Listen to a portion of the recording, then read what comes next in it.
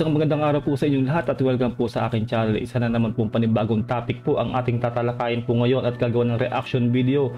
Ang video pong ito ay mula po sa Good News Philippines. Mag-subscribe po kayo sa kanyang channel. Nasa description po ang link ng kanya pong channel para po makapag-subscribe po kayo. At huwag nyo rin po sanang kalilimutan na mag-subscribe po sa aking channel para po ma-update po kayo kapag po naglalabas po tayo ng itong mga video. Ang title po nito, China, Iyak.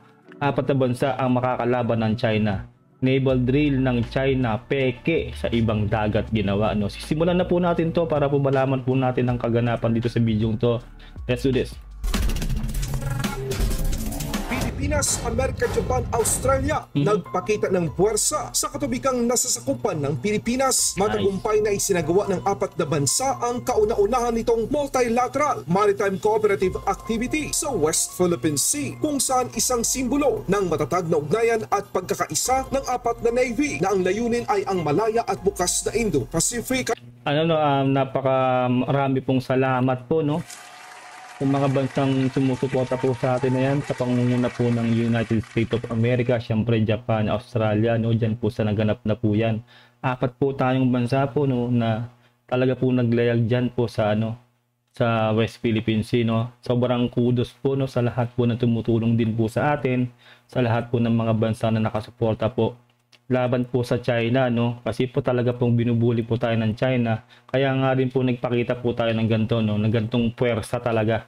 Na sama-sama po tong apat na bansang to Kabilang sa mga military hardware sa nasabing naval drill ay ang mga sumusunod. Sa panig ng Pilipinas, nakibahagi ang BRP Gregorio del Pilar, dala ang isang AW-109 helicopter, BRP Antonio Luna at ang AW-159 Wildcat anti-submarine helicopter. At Ay. ang kakabigay lang na barko ng Amerika, ang BRP Valentin Diaz. ano po no? Maraming po salamat sa Amerika talaga. Tamo may kabibigay lang pala na ano no? Na barko sa atin no? Galing galing talaga. Hindi po talaga tayo pinababayaan po ng Amerika ano talaga pong ano nasa likod po natin si Big Brother po no at, at sampu ng mga iba pa pong bansa po na nakasuporta po sa Pilipinas po sa nangyayari na po na na ano kaganapan o sigalot dito po sa West Philippine Sea dahil po sa pamubuli ng China.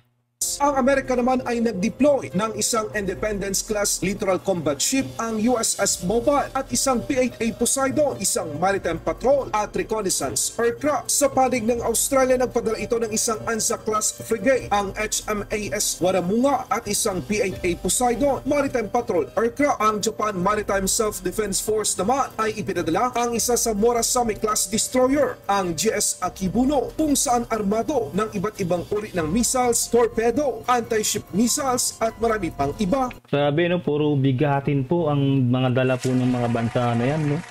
Siyempre po naman, malalakas po talaga yung bansa na yan. Talagang magaganda po yung kanilang mga gamit, no? Talagang nagpapakita lang po sila ng suporta po sa atin, sa Pilipinas, no?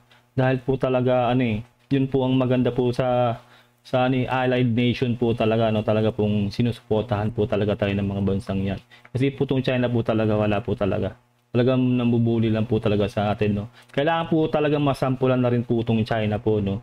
Kasi po ayaw po talaga nilang tumigil no? Sila po ang nagkakos po talaga ng tensyon diyan sa West Philippine Sea. Para kay President Bongbong Marcos Jr., posibleng maiwasan na ang mga pangaras ng China sa West Philippine Sea dahil sa ginawang show of force ng mga barkong pandigma ng magkaalyadong bansa. yun nga lang no? Sana talaga maiwasan na yan dahil yun nga no nagpakita na nga yung apat na bansa na to diyan sa West Philippine Sea. Sana lang talaga no ma, mapag makapag-isip-isip yung China no na tigil-tigilan lang tayo sa pambubuli nila diyan kasi talaga pong sobra na po. Hindi na po tayo makapaglayag ng malaya diyan no sa ano sa ating teritoryo. As actually teritoryo po natin yun no. Talagang binuburi tayo. Sobra-sobra na po itong China. Kaya sana talaga no sa pamumuno ng ating presidente Bongbong Marcos sana talaga makapag-isip-isip na yan China kasi nga po naglalabas na nga po ng executive order na palakasin ng ating maritime security dyan ang ating President Bongbong Marcos. Kaya po suportahan po natin lahat po ng mga ginagawa niya pong ano no, pagtatrabaho sa atin dito po sa Pilipinas no bilang isang presidente. Sa exclusive economic zone ng Pilipinas, dagdag pa ng Pangulo patuloy namang nakikipag-usap ang Administrasyong Marcos sa China pero sinasabayan niya ito ng gawa upang ipakita sa China na seryoso tayong mga Pilipino ng West Philippine Sea. Grabe no, tatak Marcos talaga no. Hindi po talaga patitinag ang mga Marcos, no? Tandaan niyo po 'yan, no? Sa di- dinami-dami po ng mga naging presidente po, no? yung mga Marcos po talaga may paninindigan po talaga 'yan, no? Nakikita naman po natin ngayon, no? Sa pamumuno ng ating Pangulong Bongbong Marcos ngayon, no? Talaga pong pumapalag po tayo sa China. Hindi po tulad yung mga nakaraang administrasyon, no? Hindi ko na kailangan pang sabihin pa po kung anong ginawa. Pero po alam niyo na po yan, matatalino po kayo. Kaya subaybayan na lang po natin at suportahan ang mga ginagawa po na hakbang po ng ating Bangulong Bongbong Marcos. Suportahan po natin. Ay ating the the uh, cruises that we are we are doing uh, something I've been planned for a long time. Uh, it has my, the reports that I, the interim reports that I'm getting is that very useful talaga uh, in terms of the interoperability, so that each navy knows how the other navy operates. Number one, and secondly that they learn how to operate together. Uh, so maganda naman daw ang takbo. And uh, that's the usual reaction from the uh, PLA uh, pag lalabas din sila ng kanilang barko. So uh, it, it, it's uh, almost normal already for us. So, Unfortunately. incidents aggregated by uh, China? I sincerely hope so. Um, I really do. wala namang naitalang insidente o anumang paggambala sa panahon ng naval drill. Ngunit Ayun na nga sinasabi ko, di ba? wala, no? Wala daw. No? Wala, kumbaga, hindi lang gambala ang China. Isipin nyo, no? Pero, di ba, pag tayo lang, pag PCG lang, tapos yung mga bangka natin sa kayo Onasia May, panay bomba sila. Siyempre naman, no? Matik na yan. Alam na natin yan ampaw talaga ang China, no? Takot din sila eh, di ba? Hindi po sila basta-basta kasi pwedeng magdeklara ng gera. Napaliwanag ko na po yan, di ba, sa mga nakaraang reaction video ko na marami pong mangyayari po sa bansa nila pag sila po ang nagsimula ng gera. Unang-una po, yung mga assets po nila po, mapipris po yun. Lahat po ng transaksyon ng China mapipris. Di ba po? At bagsak po kasi talaga ang ekonomiya ng China. No? Kung alam niyo po yung mga storage sa China, yung mga shipment, no? baldado po ang shipment po nila no mapa mapahimpapawid o dagat no baldado po marami pong umaalis na po sa China no yung mga shipment builders na yan talaga pong nahihirapan po ngayon ang ekonomiya ng China kaya po hindi po sila uubra po talaga ngayon no kumbaga yung sinabi ko rin po 'di ba nung nakaraan no kung yung Taiwan nga po eh malaki pa po ang ating Central Luzon No, ang ating Luzon po, malaki pa po sa Taiwan. Pero po, hindi po nila magera-gera. Diba po, sa tagal po ng tensyon ng between China and Taiwan, hindi po nila magera-gera. Tayo pa kaya na Pilipinas, na tayo pa kayang Pilipinas, lalong-lalo na na marami po tayong kaalyadong bansa. Nangunguna na dyan si Big Brother na pinakamalakas sa bansa sa buong mundo na United States of America. No, kaya wag po tayong pasisindak dyan sa China. Nako, wag na rin din natin suportahan yung mga pro-China ng ano na yan, mga politiko no yung mga basta kahit hindi po politiko no basta po mga mga pro-China po mga nakakahiya mga modern day makapili na yan. Wag po natin silang suportahan. Nako po mahiya po kayo sa balat nyo. Pilipino po tayo. Ilaban po natin ang sariling atin. Mahalin po natin ang ating bayan. Suportahan po natin ang ating Pangulong Bongbong Marcos ayon kay Armed Forces of the Philippines Chief of Staff General Browner Jr. na monitor nila ang dalawang barko ng People's Liberation Army Navy 6 nautical mile o 11 kilometer ang layo kung saan naglalayag ang mga barko ng magkaalyado. Posibleng nanonood at nagmamasid lamang ang mga barko ng China habang nagpapakita ng puwersa ang mga barkong pandigma ng Pilipinas, Amerika, Japan at Australia. nakatanaw lang sila ngayon, 'di ba? Hindi sila makalapit, 'di ba? Yun 'yun eh, 'di ba? Ano yan eh, kumbaga nangangaya lang po talaga sila pag alam po nilang Pilipinas lang, no? Alam na kasi nila hindi tayo papalag talaga eh. 'Di ba? Talagang hindi tayo tinitigilan sa pangwawater ka, no? Binubuli tayo, binubudot-budotan tayo. Pero ngayon po, 'di ba? Nasa malayo lang sila, dalawang barko nila. Nakatanaw lang po sila at wala po silang ginagawa. Hindi po sila nang iistorbo, kumbaga. Siyempre nga po, takot po kasi sila. Ganun po talaga yon no? Natatawa na lang din po talaga kasi ako kasi po kitang-kita naman po natin no, dito po sa balitang to na talaga pong ampaw po ang China no. All the objectives that we have set forth uh, including the anti-submarine warfare uh, exercise that we conducted. Ngayon, uh, while they were doing the exercise, uh, we noticed the presence of two uh, PLA Navy uh, ships uh, in the distance. Pero wala naman pong ginawa itong mga Navy ships na ito para uh, i-block or hadlangan yung uh, ginagawa natin mga exercises. Takot kasi Kumbaga ano yung dalawang barko nila doon, no, nagmamarites lang doon sa apat na bansang mag- nagsama-sama diyan sa ano, no. Nakaragatan doon, nakakainis no. Nakakainis to China to. eh. Wala naman pala talaga eh, di ba? Kung iisipin dyan, di ba? Akala ko ba matapang sila? Akala ko ba matikas sila, no? Pero tamo ngayon, no? Yun talaga. Di po nila kasi kaya po talaga, no? Kumbaga, tayo po lang talaga yung kinakaya-kaya kasi alam nilang hindi tayo papalag ng pisikalan eh. Alam kasi nila na ang moves talaga ng ating President PBBM talaga ay legal, no? Doon po siya sa international law. Kumbaga, ah, hindi po tayo lalaban talaga ng pisikalan. Diyan. Mas maganda na rin po kasi yun at ah, legal po tayo sa international law. Yun po ang pa pagaganahin po ng ating presidente, no? Para po talagang makikita ng, ng buong buong mundo na talagang tayo ang tama dito sa sigalot na to diyan sa West Philippine Sea. So, tuloy-tuloy naman, tuloy-tuloy, naging successful yung ating uh, multinational maritime cooperative.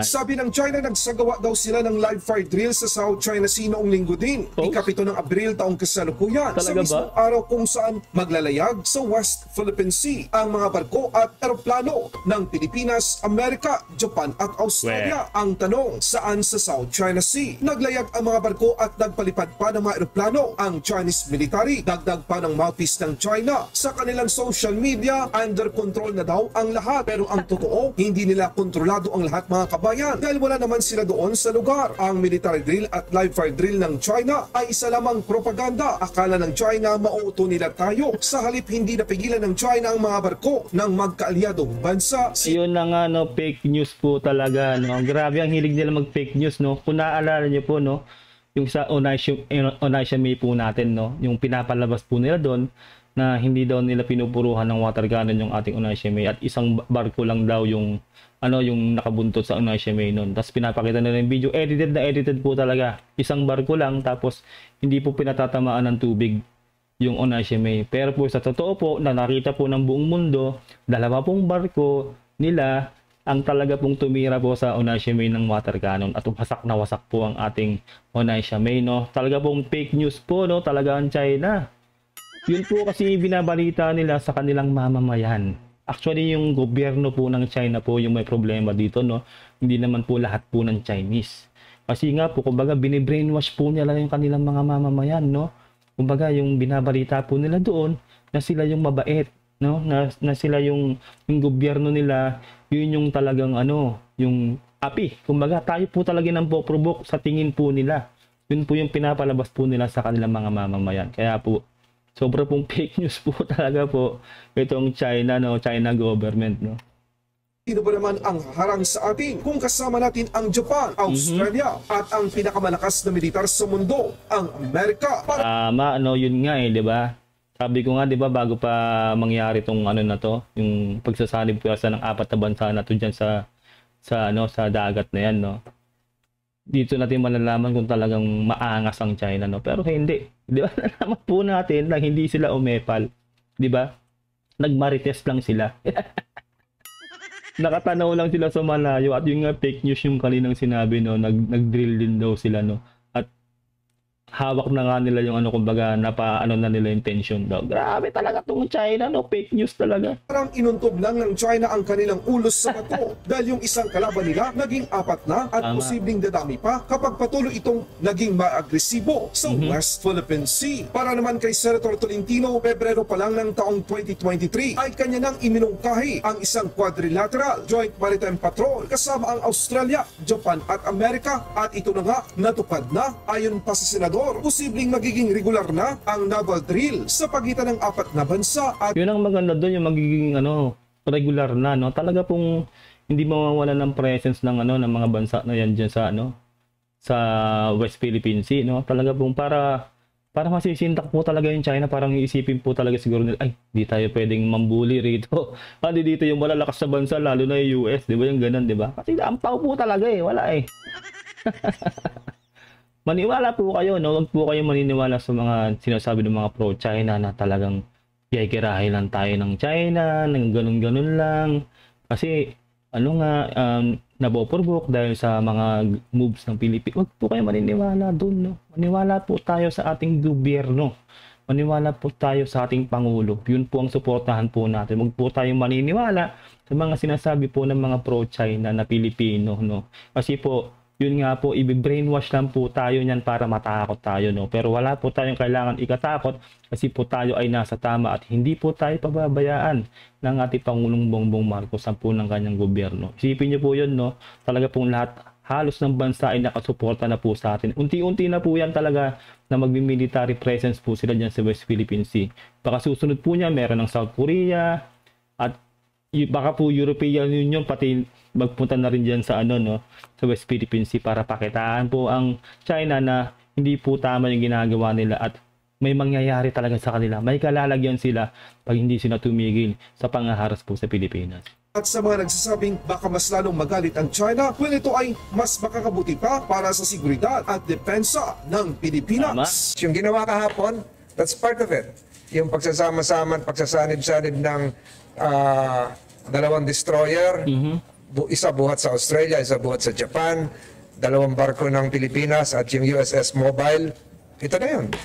Ito na yun. And, and, I, and I think this will be a regular occurrence. It is not just a one one bill, one, one standalone ah, military patrol exercise. Ah, ibig sabihin ng regular, magiging hindi ito minsanan lang. Magkakaroon pa ng mga pagpapatrol kasama ang Australia and Japan. And of course, yung, yung US lagi naman nandyan. Tama, no? Sobrang kudos po talaga, no? Salamat po sa mga bansang nag, nag-participate dyan, no? Lalong-lalo na po sa US, Japan at Australia po, no? Sobrang, ano po, sobrang salamat po sa pagsuporta po sa Pilipinas po, no? Hindi man po kami makatulong bilang um, makipaglaban po ng physical dyan, no? Yung presence po namin, no? Mananatili po kami nakasuporta po sa ating bayan. Dito po sa social media, talaga po kami ay tutulong na ano na sumuporta po sa ating gobyerno lalong-lalo na po kay President Bongbong Marcos. It is a uh, consequence, perhaps, pero ang mas malaki yung positive eh. Mas malaki yung positive one. Uh, it will it will signal a strengthened alliance or alliances with like-minded countries. Number two, it will signal a strong deterrence na hindi tayo basta-basta kayang mabuli Tama. tapos yung mga nagsasabi na baka lalong magalit ang China, para sa akin, it will promote more uh, regional stability because of because of the, the joint patrol will contribute to regional uh, uh, security and cooperation. Mas kailangan natin to as we as ASEAN tries to promote a a greater ASEAN region as well as Asia Pacific uh, Indo-China region. So, mas makakatulong sa atin to. And then yung sinabi ko kahapon, na baka later on ma-realize ng China na mas mabuti sa kanilang interes na hayaan ito kasi para na rin sa para na rin sa kanilang interes interes ito. Well, knowing China, no, hindi po tayo pwedeng magtiwala po talaga sa China, no. Hindi po tayo pwedeng magtiwala dyan kasi po sila po ang numero unong sumusuway po sa batas, no. Di ba po yung arbitral, ano dyan, award po natin, di ba? Talaga pong hindi po nila nire-respeto yun. Kahit yung UNCLOS po, eh, hindi po nila nire-respeto yan, eh. Talaga pong nilalabag po nila. At yung nga po, mahilig po sila magpalabas po o mag ano ng fake news, no, na sila daw yung ganito, sila yung ganyan tayo daw yung ano, yung yung nagpapasimulo ng, ng gulo, 'di ba? Parang ganoon. daw. Isipin niyo, 'di ba, napaka napakahinang bansa po natin kumpara sa kanila tapos tayo magsisimula ng gulo. Sino ba namang sira ulong gagawa noon, 'di ba? Kumbaga sa ano eh, normal kang tao tapos lalabanan mo si Pacquiao ng sutukan. 'Di ba gagawin mo ba 'yon? 'Di ba hindi? Mga bubo Nakakainis, no? Ayun lang po, no? Atin pong nagawa to ng reaction video. Huwag niyo pong kalilimutan na mag-subscribe po kay Good News Philippines. Nasa description po ang link ng kanyang video para po makapag-subscribe po kayo. Maraming pong salamat no and don't forget to subscribe din po sa aking channel para po ma-update po kayo kapag po naglalabas po ako ng itong mga video. Ingat po kayong lahat. Until next time, God bless and peace out. Bye.